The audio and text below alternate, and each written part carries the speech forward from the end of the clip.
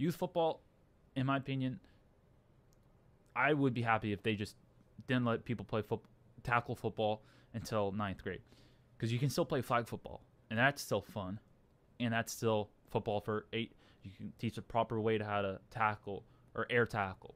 There's no point of tackling when you're 10 years old, because one, you're probably doing it wrong.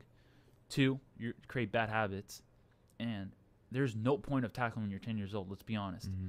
These guys who are freaks at football and 10 years old, they end up not being so good in high school. So obviously, it shows that being playing youth football really has no direct correlation to your success to your success in high school.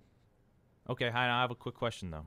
You're a f- current football player. You've been playing like your whole life. Mm-hmm. Has it been worth it to you to be at a, a high risk potentially for? CTE?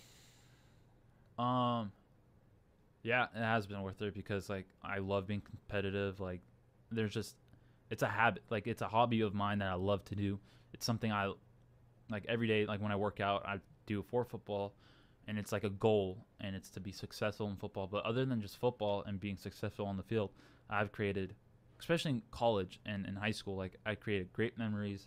It's a great way of connecting friends, and uh, I don't know if you told me in like same question I asked DJ. If you told me like I had CTE, you're gonna for sure have CTE when you're 50. Is it worth it? And for me, I'm gonna say no, because I didn't need football. Mm-hmm. I didn't need football. And right now, the player and him said it because he doesn't have kids. He doesn't have a family to look after.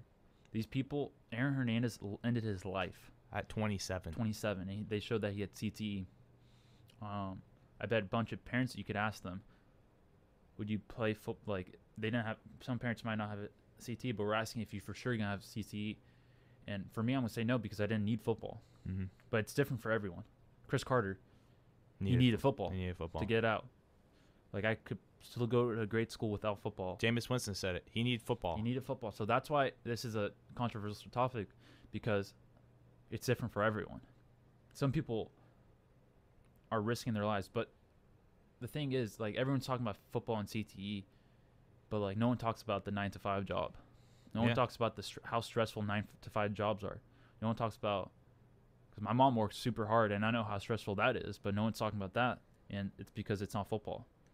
And sometimes I- I could say her working that hard for like 20 years is more doing more bad to her than football has done to me. mm-hmm. But she does it because she needs to work.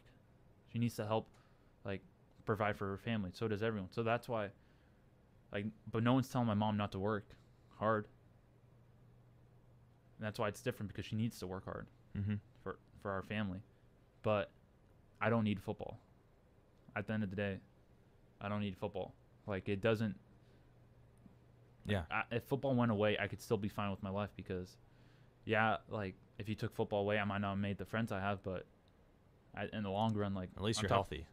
At least I'm healthy and like for my family and like I'm not. When I have a kid who's 10 years old, when I have grandkids, I want to know who they are, and if I have to throw away all my experiences when I was younger for that for them, I'm looking long term. I think it's not worth it to throw away to throw away those to throw away like my potential bond I have with my kid to, Mhm. for me to be there and for my mental health to be still be intact.